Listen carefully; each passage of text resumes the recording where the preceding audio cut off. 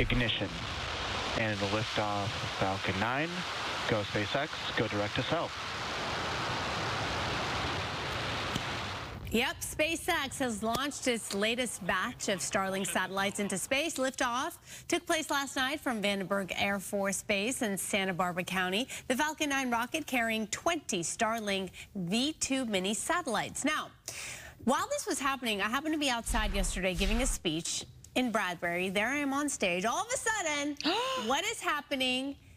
Yes. Did you pause your speech to Okay, take this so video? Here's the thing. I'm, I'm outside here speaking at this event for the Armenian Educational Foundation. And I see all of a sudden everyone take out their phones and they're recording it. They're super into it. And I'm like, oh my God, did I say, like, what did I say that, like, Wow. really inspired and motivated people? I'm like feeling really good about it. And I had no idea that was happening until I'm ah. done. And then my husband's like, did you know what was happening? Oh my gosh. Oh. It's like it's like when somebody waves at you and they're actually waving behind you. That's so embarrassing. or when they have the AirPods in and they talk and I go, what's that? I honestly, I, I saw, you know, I also did see everyone's face light up like lights, like bright. And I thought maybe they projected lighting behind me, like special Yeah, because you're in the zone.